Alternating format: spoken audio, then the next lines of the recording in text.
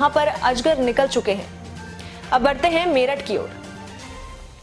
मेरठ के लिसाड़ी गेट थाना क्षेत्र में गुरु, आज सुबह एक भाई ने अपनी बहन की बेरहमी से हत्या कर दी। वारदात को अंजाम देकर आरोपी मौके से फरार हो गया। सूचना पर पुलिस मौके पर पहुँची और घटना की जानकारी ली। पुलिस ने महिला के शव को पोस्टमार्टम के लिए भेज दिया है। आरोपी की तलाश की जा रही है और जानकारी के अनुसार लिसाड़ी गेट थाना क्षेत्र निवासी राहिल ने नर्सिंग का कोर्स किया हुआ था। पाँच वर्ष पहले राहिल की शादी खुर्शीद निवासी अलीगढ़ के खुर्शीद निवासी अलीगढ़ के साथ हुई थी। दोनों का एक पाँच साल का बेटा भी है।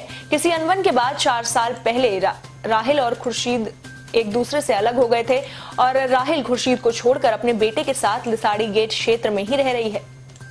यहाँ पर कुछ दिन पूर्व उसने एक नर्सिंग होम भी खोल लिया और राहिल बुधवार रात को अपने मायके में ही थी कि भाई रा, कि भाई राहिल और उसकी बहन के लिए रस्सी लेकर आया। उसने राहिल की रस्सी से